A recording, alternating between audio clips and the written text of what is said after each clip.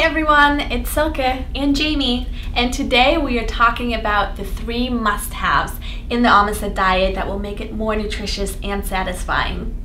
The first must-have is oil. This is going to help make your shakes a lot more nutritious and satisfying. And the reason for this is because oils are higher in calories, but they provide essential fats that are very helpful to your metabolism, digesting fat-soluble vitamins, as well as your hormones and other bodily functions. So make sure you add oils to your shakes, about one to two teaspoons of oil. If you prefer not to do that, you can actually add oils to your salads or your other meals, but make sure you are getting at least five to seven teaspoons of oils per day. You can choose oils such as olive oil, walnut oil, or even flaxseed oil. The second must-have is fiber. While being on a mostly or all liquid diet with Almased, it's really important to add fiber to your shakes to help you stay satisfied and regular. And fiber has a lot of good preventative effects for your overall health in the long run. So for example, it can help with lower your cholesterol level, or it can help support healthy blood sugar levels. So those are some other benefits why fiber is good to add to your diet. And for the Almased diet, we do recommend adding extra fiber, such as ground flax seeds, chia seeds, psyllium husk, or hemp seeds. You can do about one to two tablespoons per shake, and those seeds will also give it a nice nutty flavor.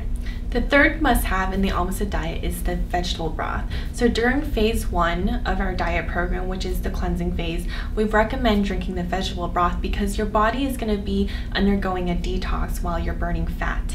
When you burn fat, toxins are released in the body, and that can cause, you know, headaches or make you feel a little sore.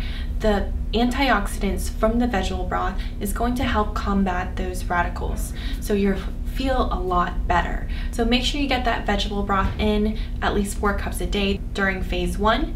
And during phase two, you can continue to drink the vegetable broth at unlimited amounts. This time you can actually eat the vegetables that you strain out from the vegetable broth. And Silke will explain later in this video on how you can make vegetable broth. Yeah, it's really easy to make the vegetable broth and we do prefer you making it yourself.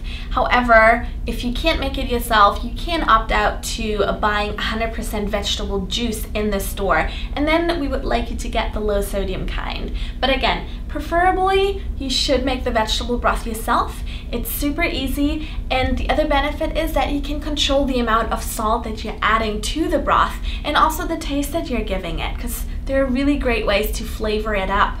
So making the vegetable broth, again, is very easy. You cut up all different kinds of vegetables from broccoli to cauliflower, onions, Carrots, yeah, mm, cabbage, kale. lots of different things. So you cut it up, um, put it in a hot pot of boiling water until the vegetables are tender. Then you strain them out and voila, you have the broth.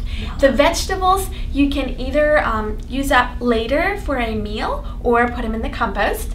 And the broth you can then spice up with some nice herbs, different spices. So just try different variations, but it's really easy. Those are our three must-haves in the Almased diet. Make sure you have those ready before you start on the program and throughout the program.